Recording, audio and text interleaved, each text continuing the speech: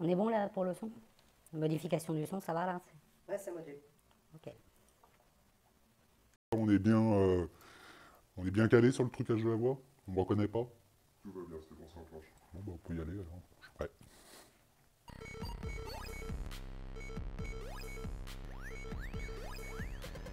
Léon, au départ, c'était une- euh, juste une- un petit clin d'œil à Léon, le film, euh, avec Jean Reno, euh, film de Besson. Puis ensuite, c'était le prénom que je voulais donner à mon fils et que j'ai souhait- souhaité garder comme pseudo.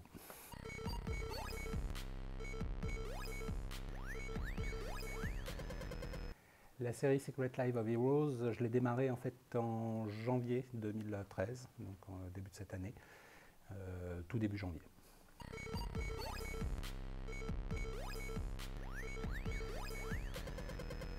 Au départ, c'était. Alors l'idée m'est venue euh, parce qu'au départ, j'avais envie de faire quelque chose d'érotique euh, en utilisant vraiment des couleurs très flashy, euh, essayer d'avoir quelque chose de très très séduisant et rela- relativement très euh, décoratif.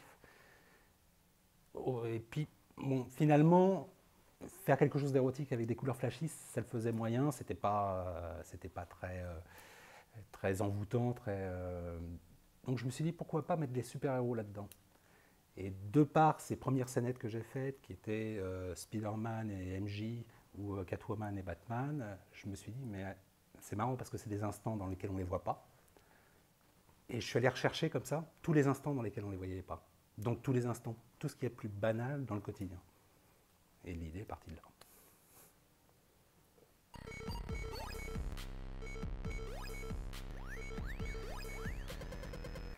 A- Aujourd'hui, j'en suis à peu près sur la série Secret Life à une cinquantaine de pièces.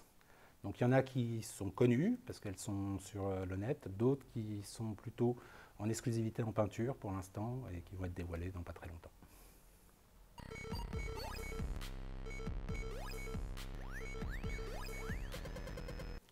À l'expo, on aura euh, à peu près 19 tableaux sur des formats différents. On a 14 tableaux en format 60-60, des carrés, deux grands formats, dont une euh, assez sublime qui est la Blanche-Neige, et trois formats atypiques.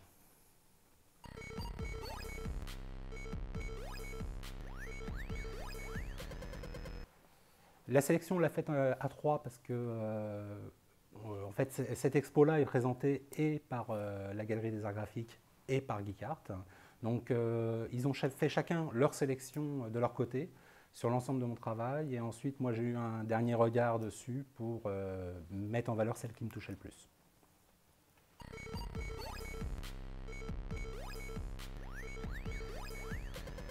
Dans l'idée, en fait, ce que j'ai fait, alors clairement, quand euh, je me suis dit un jour, j'aimerais bien le, faire en, peint- en peinture réellement. Euh, clairement, on peut se demander, euh, ouais, la trame, on l'a fait comment? Je ne vais pas m'amuser à faire euh, au point euh, chacun des points de la trame. Donc j'ai commencé à en discuter et quelqu'un m'a apporté l'idée en fait d'imprimer l'étoile déjà, d'imprimer en fait uniquement en sérigraphie la trame, comme ça je n'ai pas à faire la trame en point, et ensuite de faire la peinture en acrylique dessus. Donc ce qui est spécifique dans la série, c'est que mes toiles sont d'abord imprimées et ensuite peintes.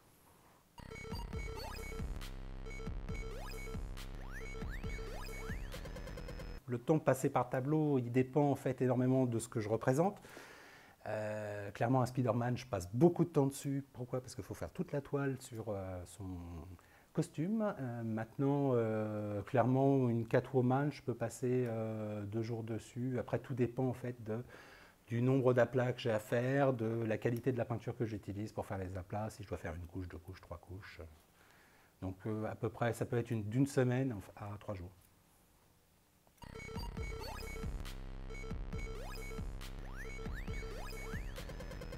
Des pièces préférées, j'en ai plusieurs. Alors, il y en a une qui est flagrante, c'est la Blanche-Neige. Pourquoi? Parce que là, pour le coup, c'est ce qu'elle représente. C'est toute l'innocence euh, de l'enfance de Disney, euh, avec ce- cette clope, donc on vient tout casser. Et d'autre part, j'ai euh, des pièces qui me tiennent à cœur, comme la Catwoman, la Catwoman avec sa sucette notamment, que graphiquement j'adore, ou la Catwoman avec son sextoy aussi que j'adore.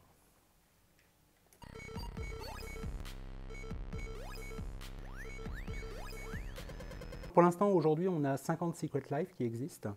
Euh, maintenant, euh, dans l'idée, c'est de continuer, de continuer pas uniquement sur les super-héros. comme j'ai démarré avec Blanche-Neige, je vais continuer avec les Disney. On a notamment un Peter Pan et une Alice au Pays des Merveilles. Et également sur les jeux vidéo, parce que j'ai démarré notamment une Lara Croft. Je pense qu'il va y avoir du Mario, il va y avoir du Red Dead. Euh, je pense que je vais ouvrir le champ. Oui, il va y en avoir plein en préparation.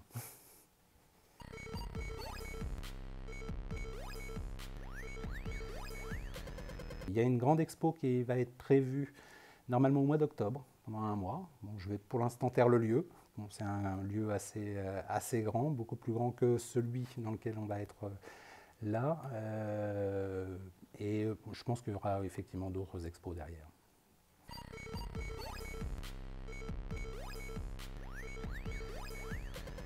Eh ben, on va rester secret là-dessus. Il y a effectivement pas mal de projets qui sont à venir sur, sur, sur Secret Life. Bon, alors des projets de produits dérivés notamment, là je n'ai pas besoin de le cacher parce qu'ils arrivent très vite, notamment des planches de skate qui seront à réaliser euh, avec les Secret Life. Et maintenant, il y a un projet beaucoup plus ambitieux que je garderai caché pour l'instant, qui sera dévoilé en octobre.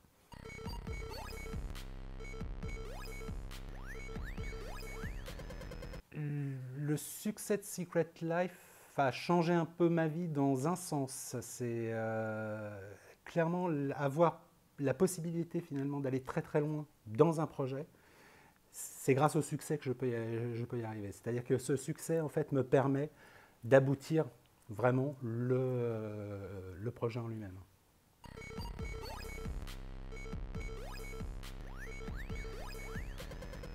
Pour penser à la prochaine série, au-delà de Secret Life, alors déjà, j'ai plein de séries qui sont en cours que je continue à exploiter. Euh, les fameuses capsules vont revenir. Euh, tout ce qui est euh, papier découpé, pour l'instant, je n'y ai pas retravaillé. Il y a une série Robots dans l'esprit Cassandre qui va continuer.